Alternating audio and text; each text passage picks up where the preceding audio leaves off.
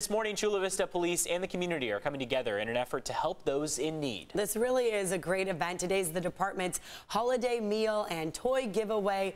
Looks like it just kicked off. News 8's Chris Groh joining us live in Chula Vista. Whoa, they were not kidding. Ooh. There's going to be a crowd and a party.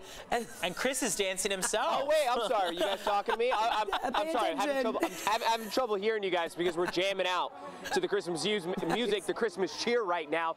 Because what's better than this? Spreading that holiday cheer with so many families here in Chula Vista. You can see the toys, the food, all of these lucky families again having a chance to go ahead and uh, enjoy and spread that Christmas spirit with the Chula Vista Police Department, who's making sure that these kids, these parents, have a chance to go ahead and celebrate that Christmas holiday the best way that they can. More than 600 families, of course, having a chance with that voucher, going to be receiving uh, that food to make sure that they can have that Christmas dinner, and then, of course, some Christmas presents to put underneath the tree. So, right now, they're just getting started. They're about to go through the line right now.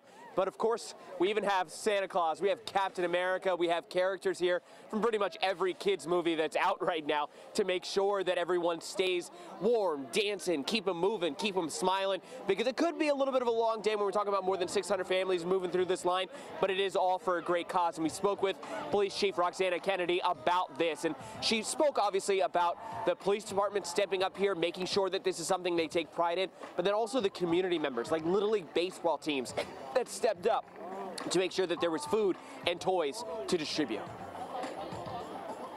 a lot of happy kids will uh, be able to get those toys, get a nice meal. It's nice to see that Grinch that walked behind you, Chris, gave you a double look. Watch out. Yeah, yeah, yeah. The Grinch, uh, go ahead and uh, get a better look there. Uh, where is Mr. Grinch right there? Sorry. Mr. Grinch is Uh, you know, we definitely got Santa. I'm trying to find the Grinch here, guys. ah, he is over here. Too many the Grinch is just uh, behind us. It's going to be a little bit hard to get to you. Ah, there he is, showing off right there. So again, you There can see he is. Uh, the Grinch there surrounded. With the police. You know what? The, the the, the police, they got to make sure that the officers stick around the Grinch right there.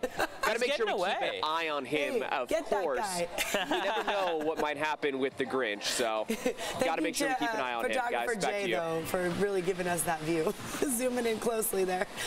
That's awesome. And look at that tree, too. They really went all out. It's nice to They see. did.